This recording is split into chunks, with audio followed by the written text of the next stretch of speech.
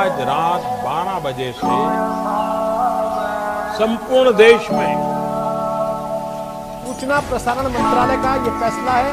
अब से कुछ मिनट पहले ये बड़ी खबर सरकार की तरफ़ से राष्ट्रीय सुरक्षा पर खतरे के मद्देनजर।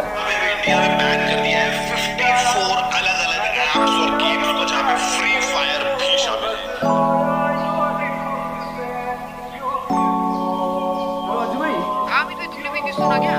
अरे हाँ यार मैंने अभी न्यूज़ देखा यार मेरे को दुनिया भर के इंस्टाग्राम में टैक्स है।